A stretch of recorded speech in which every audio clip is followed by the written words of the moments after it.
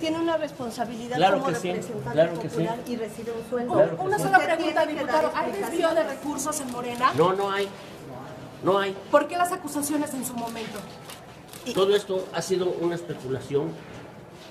Liderada por usted. no, Pero- no. Pero Y- está su voz, ¿no? Esa es una Ah, usted conoce. Claro que No, conozco Déjeme pasar, por favor, señorita.